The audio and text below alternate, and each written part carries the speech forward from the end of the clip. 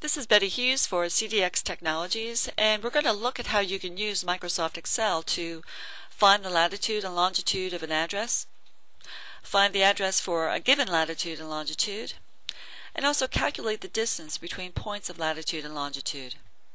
All of these can be done for long lists of data in Excel, and we'll show you how you can do that too. To find the latitude and longitude of an address, just right-click on any cell in your worksheet and select CDX Locate MP. You can input the address here like this, and then request latitude and longitude data. Click OK, and the latitude and longitude of the address are returned to the worksheet, separated by a vertical bar. To get data for a long list of addresses, we'll repeat the procedure, but here we'll just input the worksheet cell location of the address. The first address in our list is in worksheet cell A2. We'll request latitude and longitude data again, and latitude and longitude are returned for the first address.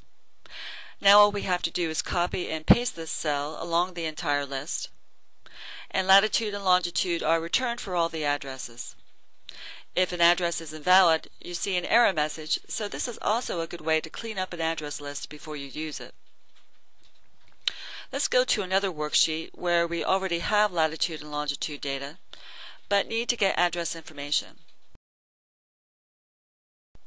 We just right-click again, select CDX Locate MP, and for the first point in our list, the latitude is in worksheet cell A2, and longitude is in cell B2. We can request street, city, state, or zip code information. So for this example, let's select street information, click OK, and the nearest street address is returned to the worksheet. We can also select state information, like this,